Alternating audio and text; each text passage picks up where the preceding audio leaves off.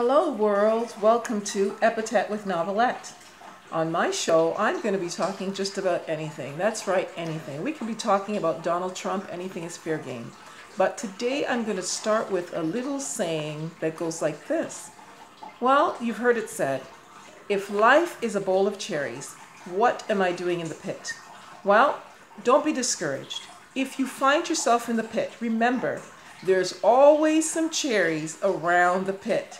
So, guess what? All you have to do is begin to eat your way out. Eat your way out? What do you mean by that? Well, you know, they say from the pit to the palace. So, when you find yourself into the pit, all you need to do is have a little bit of faith and then just begin to do some works behind your faith. So, today I want to talk to you a little bit about faith. What is faith? Faith is a seed that is germinated by belief and watered by action. Belief can be seen as an action, as it is a spiritual component that gives faith the power to become active and materialize that which God wants to fulfill, or what you want God to fulfill. Belief then is that spiritual action, when it is present in our lives, is counted or imputed unto us for righteousness.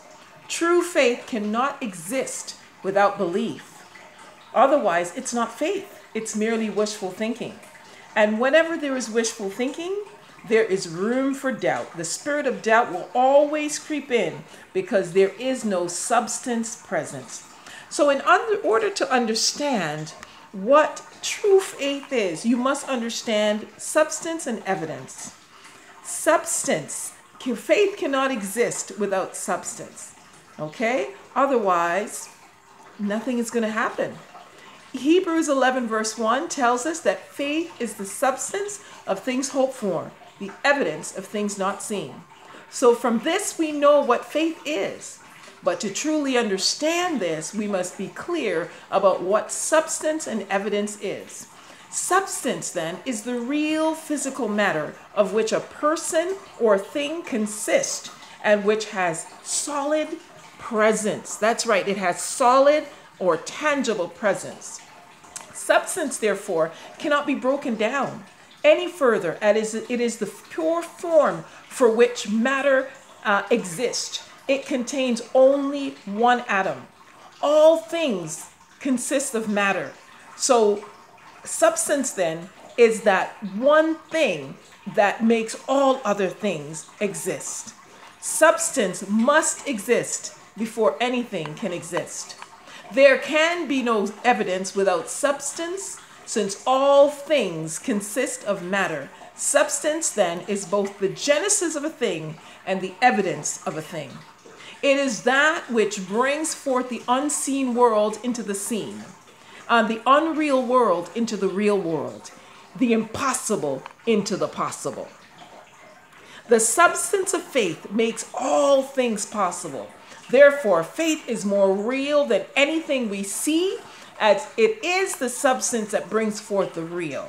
In other words, faith is reality more than reality itself because it brings forth reality. How do we activate faith then? Faith is activated by the mind. This is why Christ said, Let this mind be in you, which was also in Christ Jesus.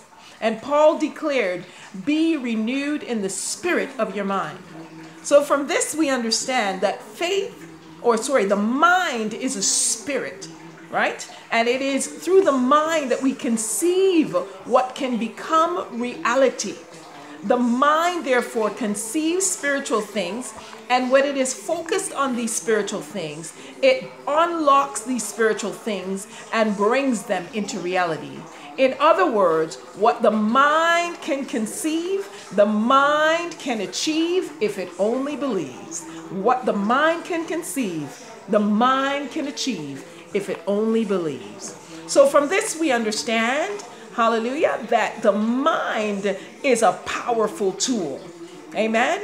It, we are able to understand creation now that we understand that the mind is spirit. And I'm going to talk about this in my next segment. So stay tuned for Epithet with Novelette as we come back to you with the second segment of faith. Are you ready? Are you understanding that faith is a powerful tool? I want you to hold on to your seats because I've got more to share on this subject called faith. See you in a little while. I'll be back with part two.